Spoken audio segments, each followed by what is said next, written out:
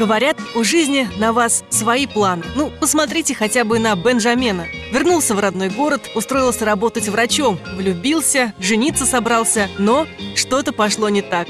Это почечный камень.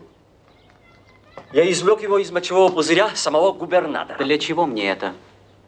Оправьте его золотом, рассыпьте по нему бриллианты, и получится великолепный подарок вашей супруге ко Дню Ангела. В главных ролях неподражаемые Анастасия Вертинская, Буба Кикабидзе, Софико Чуарелли и не только. А Тифлис там? Тифлис там. Там Стамбул. Стамбул нам не нужен, мы там были. Там турки. Первый цветной фильм Георгия Данелли, комедийная драма «Не горюй» в субботу в половине девятого на телеканале «Самара ГИС».